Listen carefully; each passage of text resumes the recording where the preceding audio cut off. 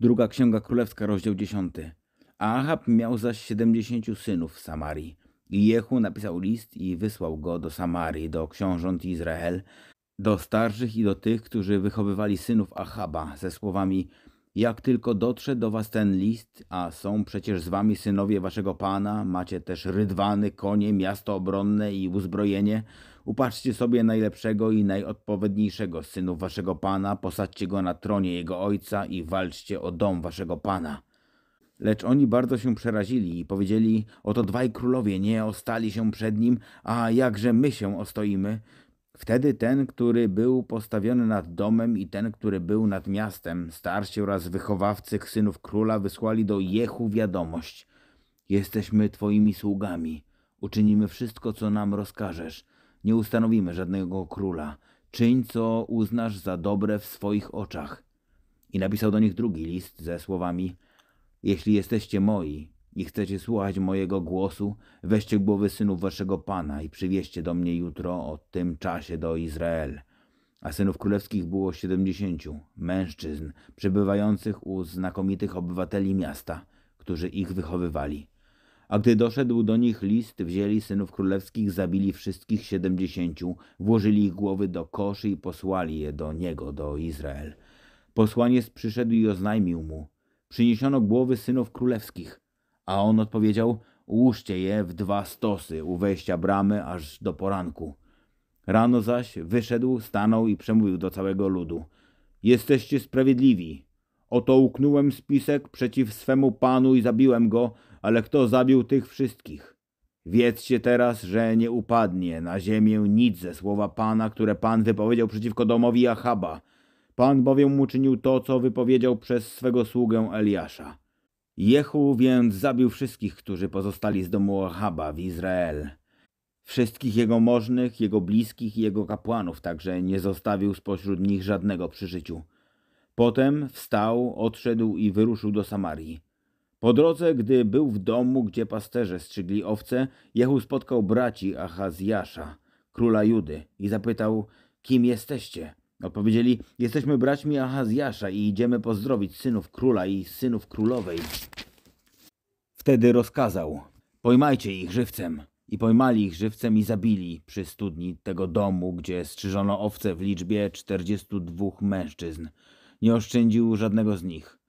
Potem odjechał stamtąd i spotkał Jonadaba, syna Rechaba, idącego mu naprzeciw.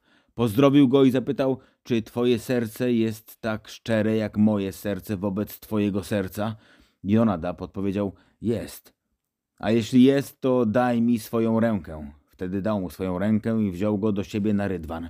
Potem powiedział, jedź ze mną i zobaczysz moją gorliwość dla Pana. I wiózł go na swoim rydwanie. A gdy przyjechał do Samarii, zabił wszystkich, którzy pozostali z domu Ahaba w Samarii. Wytracił ich według słowa Pana, które wypowiedział do Eliasza. Potem Jehu zebrał cały lud i powiedział do niego Achab mało służył Baalowi, Jehu będzie służył mu bardziej.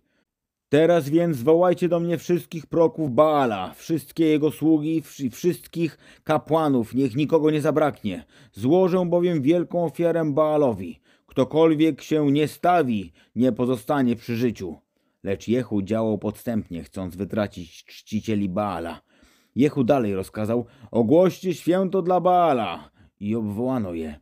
Potem Jehu rozesłał posłańców po całym Izraelu i zeszli się wszyscy czciciele Baala, tak że nie było pośród nich nikogo, kto by nie przyszedł.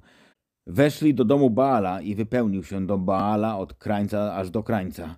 Następnie powiedział przełożonemu szatni, wyłóż szaty dla wszystkich czcicieli Baala i wyłożył dla nich szaty. Wtedy Jehu wraz z Jonadabem, synem Rechaba, wszedł do domu Baala i powiedział czcicielom Baala Zbadajcie i upewnijcie się, że nie ma z wami nikogo z czcicieli Pana, ale tylko czciciele Baala.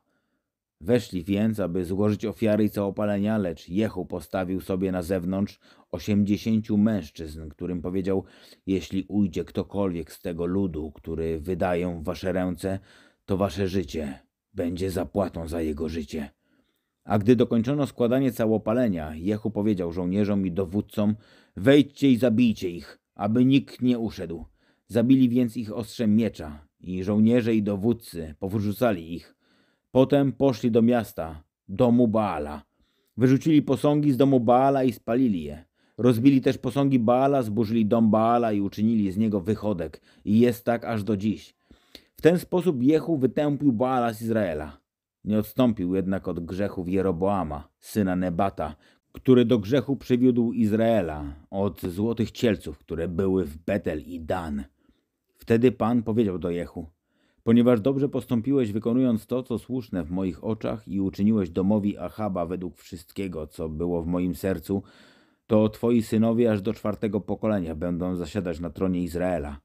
Lecz Jehu nie pilnował tego, aby postępować z całego serca swego według prawa Pana, Boga Izraela. Nie odstąpił od grzechów Jeroboama, który przywiódł Izraela do grzechu. W tych dniach Pan zaczął umniejszać Izrael. Hazael pobił ich na całym obszarze Izraela. Od Jordanu ku wschodowi całą ziemię Gileadu, Gadytów, Rubenitów i Manassytów. Od Aroeru, który leży nad rzeką Arnon, Gilead i Baszan. A pozostałe dzieje Jehu i wszystko, co czynił, cała jego potęga, czy nie są zapisane w kronikach królów Izraela? I Jehu zasnął ze swymi ojcami i pogrzebano go w Samarii. A w jego miejsce królował jego syn, Jehoachaz. I czas, w którym Jehu królował nad Izraelem w Samarii, wyniósł 28 lat.